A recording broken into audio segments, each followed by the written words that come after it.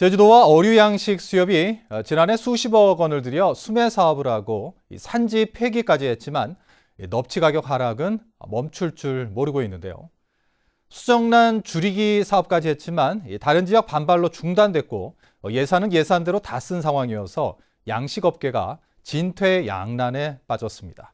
김찬영 기자입니다. 넙치 20만 마리를 키우고 있는 제주의 한 양식장. 시장에 유통돼야 할 2kg 이상 넙치들이 아직 수조에 가득 차 있습니다. 넙치들은 계속 자라는데 팔리지 않으면서 5kg까지 자란 대형 넙치들이 3만 마리나 됩니다. 이게 판매돼야 될 사이즈의 고기들이 판매가 안 되고 이렇게 해를 넘겨서 이제 갖고 있다 보니까 사료는 계속 들어가고 수조는 차지하고 이제 어가들은 힘들어지는 거죠. 그래서 전기세도 못 내는 어가들이 생겨나고 있습니다. 생산량은 크게 늘지 않았지만 소비 부진이 계속되면서 양식장마다 다 큰 넙치를 팔지 못하는 상황. 제주도와 어류 양식 수협은 지난해 50억 원을 들여 넙치 500톤을 사들였지만 가격 하락은 멈출 줄 모르고 있습니다. 양식장에서 거래되는 넙치 가격은 지난달 기준 1kg에 8,058원까지 떨어졌습니다.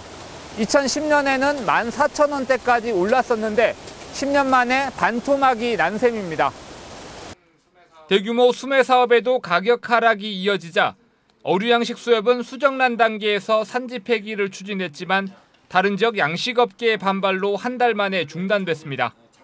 그쪽에서 직접 생산하겠다는 그런 뭐가 있어가지고 결과적으로 육지부에 생산을 하게 되면은 또 양식업에 피해야 오거든요.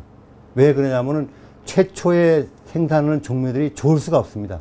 그래가지고 저희들은 수정란 사업을 이제 작년 말로 일단 포기를 하고 양식업계는 올해도 추가 수매가 불가피할 것으로 보고 있지만 지난해 예산을 대부분 써버린 데다 연초부터 신종 코로나 악재까지 겹치면서 이러지도 저러지도 못하고 있습니다.